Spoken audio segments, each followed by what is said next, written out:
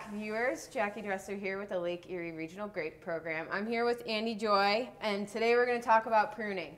So, the origins of pruning, where did we start? Well, you know, just like about every other vineyard practice, uh, it was usually done by hand, and Nelson Shaulis' early work dealt with balanced pruning. And the theory behind balanced pruning, and there were several equations to do this, was that you're trying to match the fruit load that you're eventually going to put on a vine the potential yield you leave when you're pruning to the size of the vine. So there were various equations to do this, 20 plus 20, 30 plus 30, which would mean that for every pound of pruning weight, you're leaving 30 buds. And the theory behind that, again, is, is really to balance crop load. But what we have a scarcity of now uh, is labor. And that has kind of paved the way for a lot of mechanized pruning, which started, you know, that research began in the late 60s, early 70s. So, Andy, can you mm-hmm. take us kind of through the evolution of those early machines to something like we're looking at today? Yep. So, a lot of the early machines uh, were nothing but just a bunch of sickle bars um, and you were just box hedging. So you were cutting the top, cutting the sides, cutting the bottom, just trying to tear down that bulk of what was out on the canopy and make a manageable vine. And then some hand follow-up could be done. A lot of times it was just left. Um, and so things evolved through to now we have pruners that have comber systems on them, uh, whether they be hay rake teeth, uh, poly fingers, um, you can comb up, you can comb down, depending on what you want to do to manage the vine and to thin out that vine. So what's the advantage to having a combing type system versus leaving a box? Mm -hmm. So just your box, pretty much what is there in the sickle bar is going to get cut, nothing will get pulled out.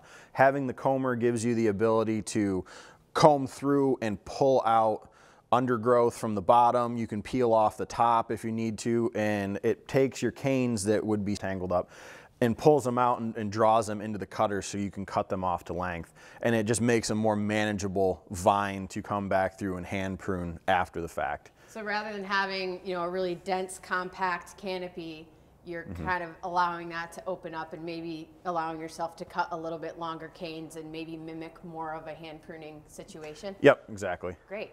So can kind of take us through the architecture of this machine, what it does, and uh, kind of how it was designed. All right, so this machine here that we have is a VMEC tool arm uh, with an Oxbo type head when Oxbo was uh, manufacturing, producing the, the tool arm and the heads. Um, so this is a, I wouldn't say a copy, but an offshoot of what was the Friday machine in Michigan, and then the Joy Laporte pruner here um, in New York. So you have a comber style system with cutter bars behind. Some have a top cutter, but most just have uh, two vertical cutters. Um, then also the pruner, if you see up here, you've got your pivot point. Uh, the head swivels side to side. So if you have a leaning row or a terrace vineyard, um, you have the ability to make sure that head is perfectly evened up on the row as you're pruning.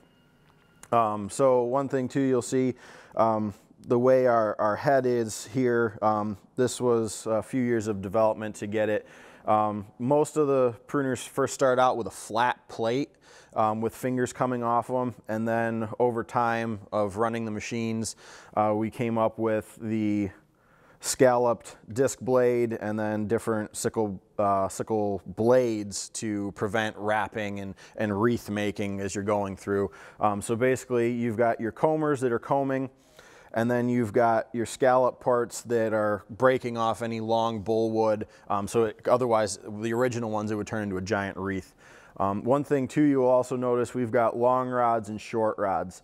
Our long rods are a uh, more flexible material, um, allows us to get a, good hit, but not necessarily a tear into the canopy. And then our short rods are a stiff rod. So the theory and idea behind it, and it works very well, is you've got your, your loose rod that kind of breaks things loose, and your stiff rod, not being as long, gives you that ability to grab and, and pull and not tear the whole cordon off the canopy.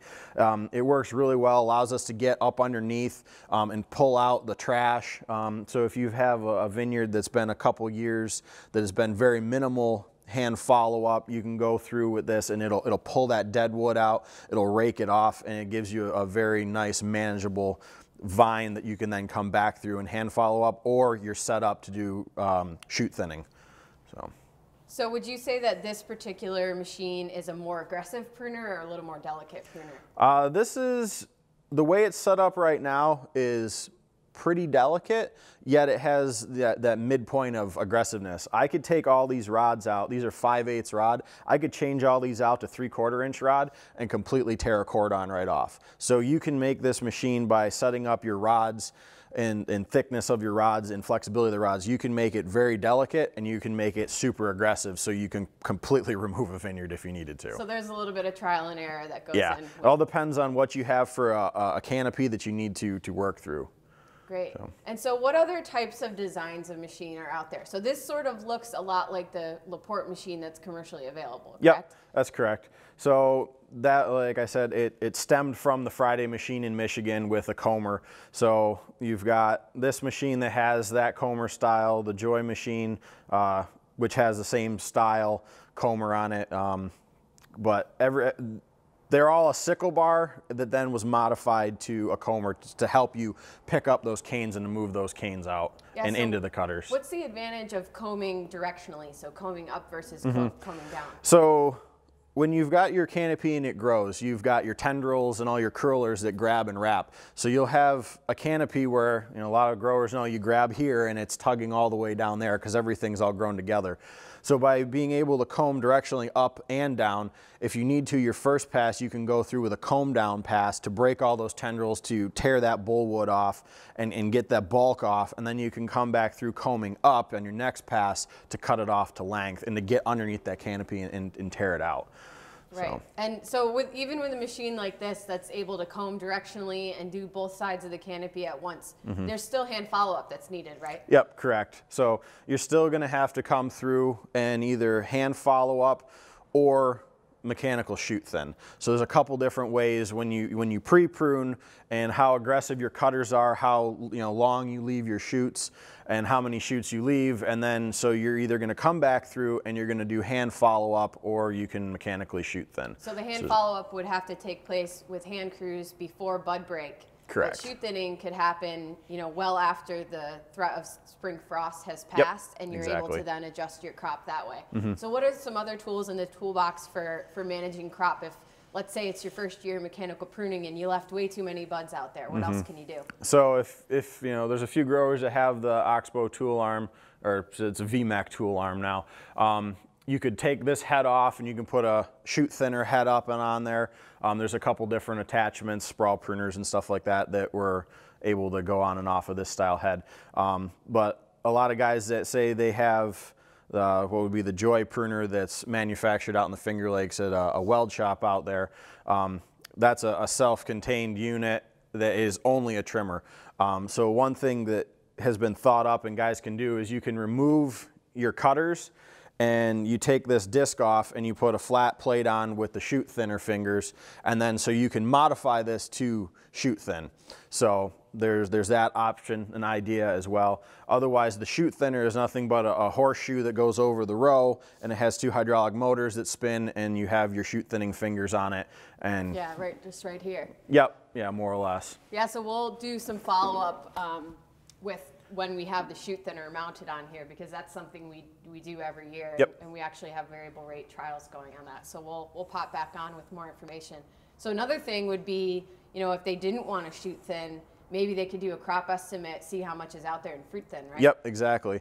You can mechanically fruit thin with your harvester, um, and we're doing variable rate fruit thinning trials. Um, also, there's a couple different um, ideas that uh, spawned out of uh, uh, Morris Aldridge. Morris Aldridge, that's it, thank you. Um, that on this tool arm, you could have a fruit thinner as well. Um, and so you could fruit thin. The only problem with that is you can't collect the fruit to do your crop estimate. Uh, there's a couple different ways that you have to calibrate it, but you know that once you went through and you could fruit thin that way. Um, so you have your shoot thinning method, fruit thinning method, um, and then just if you're going to go through and prune, hand crews go back and, and adjust your crop and hand follow up afterwards. But no question about it, it, you know, it seems prudent in a mechanized system, especially if you're new at it, getting into mechanical pruning, to make sure you're going out there and you have some semblance of an idea of how many buds you left, Mm-hmm. or how many shoots are there, or how much fruit's in the vineyard, so you can make sure you get a nice ripe crop at the end Yep. of the season. Correct. So, for our viewers that might be interested in mechanical pruning, what are the commercially available options that work for the Lake Erie region right now? Uh, so right now, the, the two options are you can go to Laporte. Laporte has a pruner that he will mount up onto your tractor. Um, very similar idea uh, to this, but it does not pivot. Um, and then there's the, the Joy pruner that you can get out of the Finger Lakes from the weld shop out there. Um, that one, very similar idea, combers, cutters, but that one does pivot. So you have the two options. So you can figure out, do I need to pivot? Do I not need to pivot? Um, so you have both those options, but they both are a comber. Um, the Joy pruner has a head similar to this. The Laporte pruner is a flat plate with fingers. Um, so they're they're both the same, but yet they're both different. So um, and then other pruners that are out there. There's I mean Pellenc makes pruners, barrel yeah, they pruners have a and stuff. and a barrel pruner, Yep. and sort of an integrated fusion of the two. Correct, um, which is kind kind of could be used in Concord, um, but there really hasn't been any trials done yet. VMAC, the VMAC line, when Oxbo got rid of VMAC, uh, Midwest Grower Supply is the VMAC dealer sales rep. Um, they do have a sprawl pruner, a barrel pruner and stuff. They don't make the tractor mounted arm anymore. They make a trailer mounted version. Uh, so you have a tractor pulling the trailer and that trailer has two arms on it. So you can do two full complete rows. Um, and, and they have their pruning options as well. Um, hopefully, cross our fingers, we will be getting a spur pruner, a VMAX spur pruner to mount on this to go out and do some trials in our Concord vineyards here of spur pruning, box pruning, and seeing what we can do then mechanically shoot thinning, fruit thinning after the fact. So, As usual, we're going to try to make the mistakes or successes first, so we can pass the information on to you in a kind of lower risk environment in our teaching vineyard. So. Yep. Uh, yeah, I think that that fairly covers it. And if, if you have any questions, uh, please leave them in the comments below, and, and we're happy to follow up with you. So thanks, Yep. viewers.